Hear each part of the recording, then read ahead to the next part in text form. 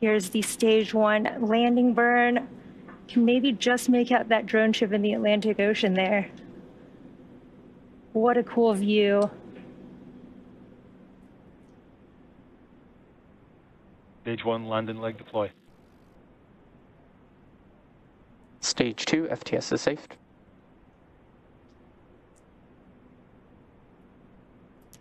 We did get confirmation that stage two uh, flight termination system has saved, and we should have second engine cutoff here very shortly.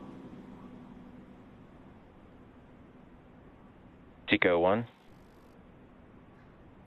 We did have second engine cutoff here, and we are waiting on confirmation of a good orbit from our second stage. We did have a good burn and a Nominal good orbit orbit.